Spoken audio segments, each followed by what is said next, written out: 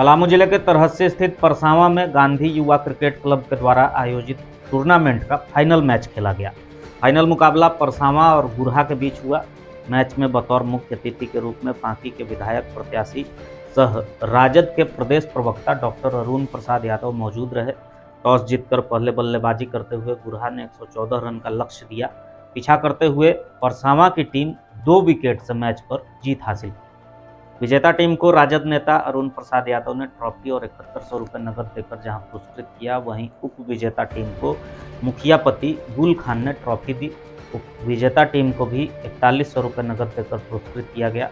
मौके पर राजद नेता डॉक्टर अरुण प्रसाद यादव ने खिलाड़ियों और आयोजक कमेटी के प्रति आभार प्रकट करते हुए कहा कि हाल के दिनों में जिस तरीके से पांकी पूरे राज्य स्तर पर बदनाम हुई है, वहीं दो पक्ष के लोगों के बीच रोमांचक मुकाबला और भाईचारगी के साथ मैच समाज को सुखद संदेश देता है।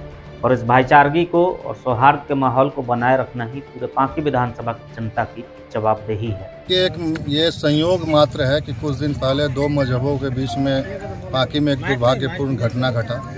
और आज संयोग देखिए कि उसी पांकी विधानसभा में दो समुदायों के बीच में शांतिपूर्ण मैच खिलाया गया।